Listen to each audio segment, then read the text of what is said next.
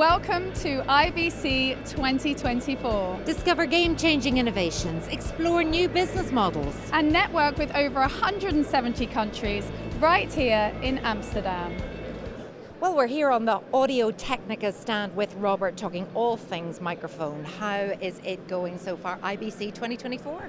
Thanks, Sarah. It's been really busy. We're on the second day, uh, wrapping up. It's uh, we had a full booth, and as you can see behind us, we have this immersive cube experience, which we've uh, been quite excited about uh, debuting here at a B2B environment for the broadcasters. So yeah, very, very well actually. And tell us all about your position now within the industry, just yeah. uh, for those who don't know. Yeah, it's okay. Well, Audio Technica has been around over 60 years, right? And uh, we are quite a wide company when it comes to audio.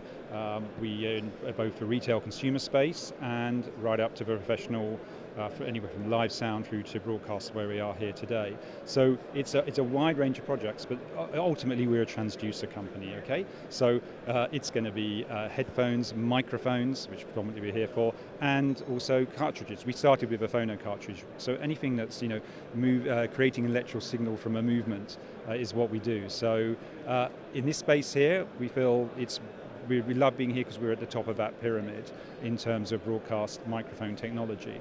And what trends are we seeing at the minute, Robert, in that kind of technology? I think something that's very exciting for us is just being along for the ride with the broadcasters. Of course, we want to be part of the solution. We're seeing a lot of technology, technology changes, remote production, etc. But um, what we're doing here is, is showcasing the 3600, which is our immersive microphone, and that trend has really been around for the last six years as broadcasters, especially live, in, in live sound, need to create more immersive content, right, and deliver that for media rights, uh, rights holder broadcasters, etc.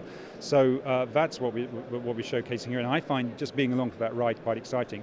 Now, with Audio Technica, we've been involved with the world's largest sporting events since uh, coming up to 30 years now. Um, and so we use those uh, those events really to develop uh, like a personal laboratory to come up with some great um, uh, conceptual ideas and then bring those through into production.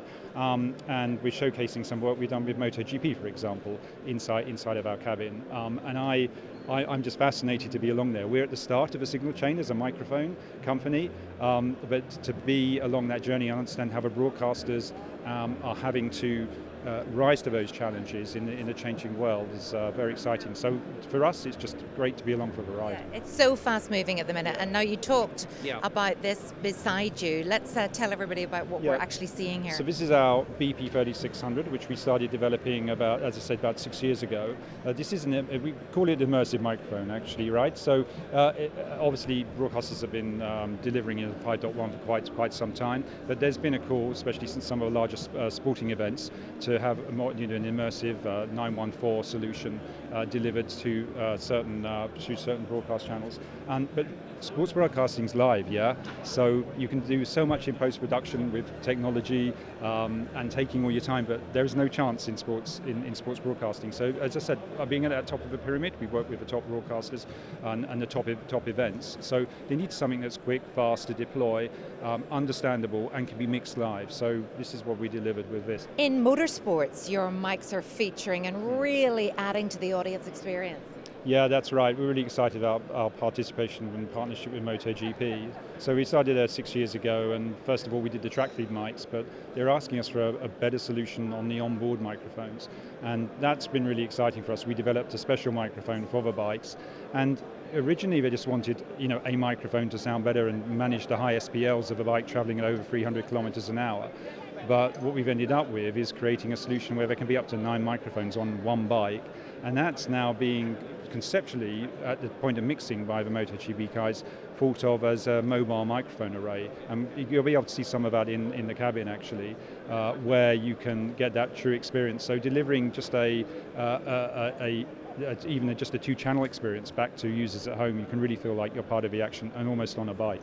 What's been the reaction from people visiting the stand? Yeah, so this is, it's, it's been amazing really because what we want to do here is have a kind of uh, how our products are used by our clients, and it's almost a peer-to-peer demonstration, right? Rather than us saying, oh, here's our product, go off and use it, or it's a really good, people are using it. So we're actually seeing some of the work that's being done by our top clients, and uh, it's great to be able to showcase that and have partners who allow us to do that.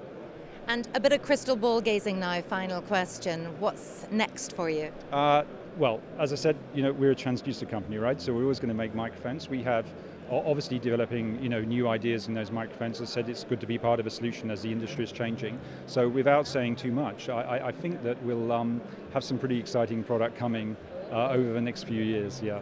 Sounds exciting. It is. Thanks, Robert. Lovely to see you, and good luck with the rest of the show. Thanks very much, Sarah. I appreciate the time.